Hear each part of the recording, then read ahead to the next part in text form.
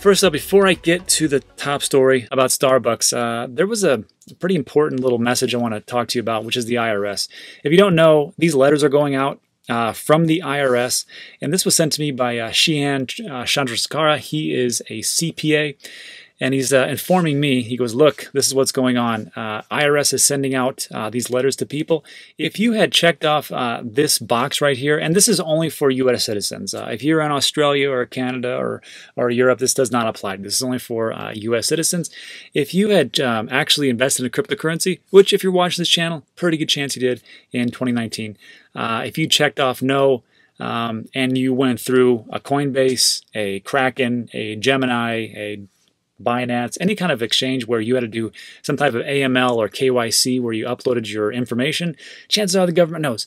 So uh, you might be getting a letter and uh, just talk to your CPA about that. That's all I'm going to say. So real quick, this was a letter that uh, was sent on August 14, 2020, so you know it's recent.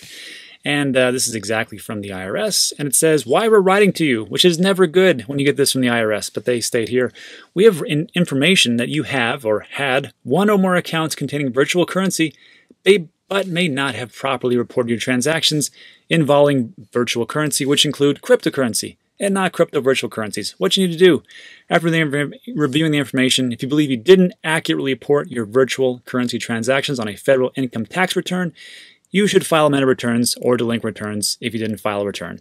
Da da da da. So again, make sure you talk to your CPA. I am just the messenger. Do not shoot me. And this is just the information that I got.